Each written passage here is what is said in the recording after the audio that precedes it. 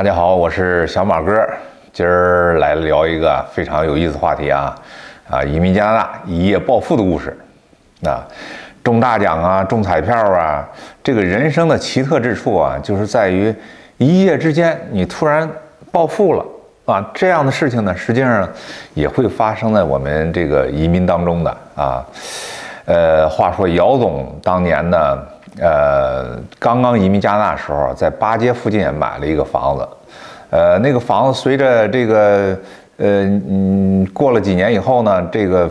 这个显得就有点老了，而且呢，就是说家里孩子又又比较多，在这时候怎么办呢？姚总就想换个大一点房子，然后但是他英语不好啊，呃，于是呢，经常约上我啊一起去看房子。那我们最初呢是先看的这个新区的新建的房子，但是新房子你也知道它。占地面积很小，再一个来讲的话呢，这个价格也很贵，这个周围的环境啊也不是很很让人满意。那么转来转去呢，也没有这个选上一些合适的房子。我在这种情况下呢，啊，我们就接着等。有一天啊，风和日丽，啊，姚总接着约我，然后带上他爱人啊去看房子。他说在东郊啊，这个丘陵上有个好房子，我们就去那儿看。然后这车呢开出城市，到了这个丘陵上，然后站在丘陵的几栋房子那里啊，姚总指着这远方的那个城市说：“啊，你想象一下，到了晚上万家灯火的时候，那，站在这里俯瞰大地，那是多么的壮观啊！”我看了看这个光秃秃的丘陵顶上这几套房子。我跟姚总说：“我说大哥，你你得仔细想一想啊。这到了冬天以后，是这光秃秃的丘陵上，这风得多大呀？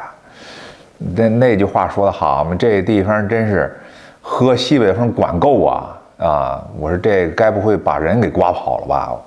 我说你想象一下，这个丘陵顶上是没遮没拦啊，也没有树。我这个个这这这这上面的房子，那得。”每天得这个迎多大的风啊！好，这时候呢，我们就放弃了这个丘陵上的房子，然后呢，开着车就往回走。刚下了坡，正要进城的时候呢，哎，旁边有一片湖啊，然后后边有个别墅。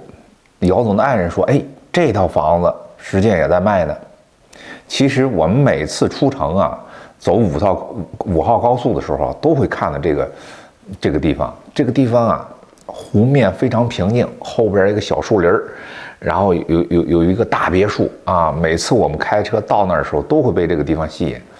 哦，这个地方卖房子，我我一听，连想也没想，咱们去看看。于是我们进去一看呢，哇，这个房子很大啊，这个。前面有一个湖，后面还有两个湖，啊，中间一大片农地，然后呢还有树林啊，这个看着真是大气、豪气、霸气啊，真的很不错。呃，然后呢，这个开车到他学校，到孩子这个学校一走呢，发现进城去学校只有五分钟，啊，没多远。啊，这个地方太好了！这个一问价格呢，八十九万加币啊，不贵啊，而且它后面有大车库啊，还有这个其他的各种仓库啊，一应俱全啊，这个都非常方便。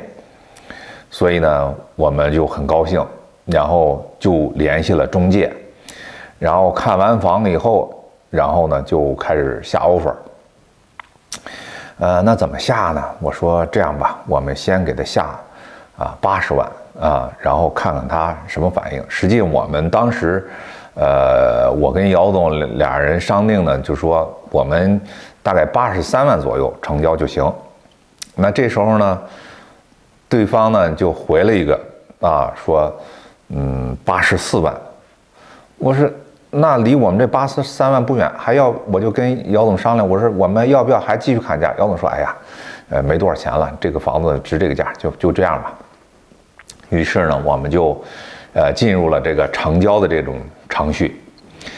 接下来呢，我就跟那个中介说，我说，呃，这个房子我们需要了解一下它的基本信息哈，我们需要去政府的呃这个关于房屋注册那个地方，要把这个相关的整个这个地的呃图纸啊，以及这个房子的图纸啊，那么调出来看一看。呃，他说，哎，就在我旁边啊，这个是管理专门管理城郊农用地啊，农村用地的这种这种这种。机构就在旁边，你去吧。然后我去了那个地方呢，叫 Common Park 啊。这个这个，到那以后呢，我跟工作人员说说明了来意。那工作人员啊，然后就在电脑啊查查了半天呢，一脸疑惑，然后就过来跟我说呢：“先生，不好意思，说我们这儿不管这块地，啊，你需要去市政那里去查。”咦，这是怎么回事呢？难道说有变化这个土地性质啊？然后我就着急麻慌的赶紧跑到那个市政厅，在三楼啊管理这个呃整个城市规划呀，还有这个土地审批啊这个部门。然后到那儿以后呢，呃找到这个前台工作人员，工作人员看了这个地址以后呢，就也是电脑里查查完以后，也是一脸疑惑，然后走过来说：“哎呀，先生不好意思。”说这个地呀，啊，我不知道它是什么情况，呃，你得等我们领导回来开会回来，那个再跟您说。我说你你领导是开会到什么时候？他说这个礼拜都开会，下个礼拜一估计开完。可到时候呢，你留个电话，我们联系你，你再过来。好，到了礼拜一呢，他给我打电话，我们就过去了。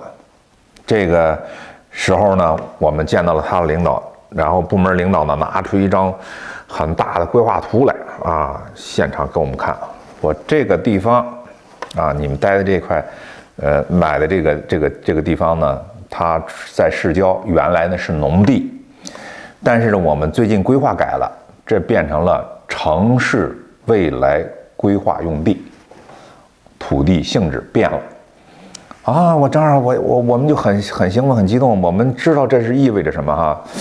然后我们就看到那个图上呢，在他们家旁边呢还有一个几几个小方块然后问这个这个小方块这个未来代表什么意思啊？他说有可能呢这边呃规划成商业用地也有可能，所以这个呢看以后的需要，因为正好呢在他们这个旁边呢，就是这个丘陵的这个坡上是未来规划的这个大环啊，就是萨斯卡通市这个外环的这个用地。我一看，中大奖了！这个回来以后，我们就真是非常高兴啊！啊，这是真是，呃，中大奖了。这个这个地呢，呃，我们就看了一下旁边的一个规划用地，也是十英亩啊。他们家这个是十英亩，十英亩的就是，呃，这个中国亩是六十亩，六十亩地啊，非常大的一片。而且前前面这个湖啊，后边这个湖还不是他们家这个这个呃地范围呢，属于这个公共的啊，非常有意思。所以等于他们那个地非常大，六十六六六十这个中国呃亩。那实际上旁边呢也有一块地呢，大概这个亩数跟这个差不多。我们看了一下当时的价格呢，就已经是两百五十万。什么概念？姚总这笔成交等于是八十四万拿进来。瞬间一夜之间就变成了两百五十万往上了，啊，这个未来呢，这个地方，你就说，啊，十个英亩地啊，我们规划十个房子，一个一个房子还占地一英亩呢，就是六中国亩地，非常大，是不是？所以大家就知道这个土地的这个这个这个价值啊，是是非常不错的。呃，怎么说呢？就是在加拿大呢，这个。往往存在这种机会，你可能不经意间啊就获得了一笔财富啊，像姚总就是这样，这个土地性质变了，那么这个财富呢他就把握到了，连卖那个土地的、卖这个房子的原来那个上家以及中介都不知道这个事情啊，呃，成交完了以后才发现，哦，这个土地性质已经变了，但是已经已经付完款，所有的手续都办完了。再讲一个故事啊，这个故事呢就是另辟蹊径啊，然后呢这个巧妙构思啊，把这个高速边上的农用地变成工业用地，然后建厂房出资出出租啊，建厂房出租，然后呢，这个来这个怎么讲呢？获取巨额利润的一个故事。呃，这个这个故事呢，实际上是呃我另外一个朋友啊，这个朋友呢，呃，在国内的时候呢是做工业厂房的。那来到加拿大以后呢，他是从操就业，但是他呢非常聪明啊，他就是说我一定找到一个地方呢，这个地方一离城不远，那二呢，他又不属于市政的范围，它属于下面小镇上，这样的话呢，就说我一旦拿下来以后呢，它可以迅速的通过这个运作呢，然后把这个土地性质变成这个工业用地，然后这样的话呢，你就拿的是一个非常廉价的一个地，因为原来它是农地嘛。那个用几万啊，十几万啊，然后就买了很大一块地，然后呢，这个他呢，让他爱人到那个小镇上这个工作，而且是在这个政府部门工作。这样的话呢，大家就都混熟了。混熟了以后呢，那么他这个地方呢，正好是离萨斯卡通城呢往南的高速边上啊，只有这个十五分钟啊。呃，交通非常方便，而且就在高速路边上，对吧？那个旁边呢还有个那个赛车场，呃，所以一提那个地方呢，大家也都知道，呃，在什么地方。呃，他把旁边那个地，呃，整个拿来以后呢，就通过他爱人在这个小镇上混熟了以后啊，然后召开听证会，然后呢，顺利的就把它变成了工业用地。那么这个土地性质一变以后呢，他开始在上面就开始建厂房，那一半出租呢，一半出售，那这样的话呢，他就获得了非常丰厚的利润。好，这个今天讲两个小故事啊，讲两个小故事，呃，就是，呃，这都是发生在我身边朋友这个身上的一些经历，呃，就是说在加拿大呢，确实存在大量的生意机会，呃，就看你。呃，怎么去把握？是不是用心去寻找了？好，今天的故事呢就讲这么多。呃，欢迎收看我的节目啊，也订阅我的频道。呃，我是小马哥，谢谢您的收看，再见。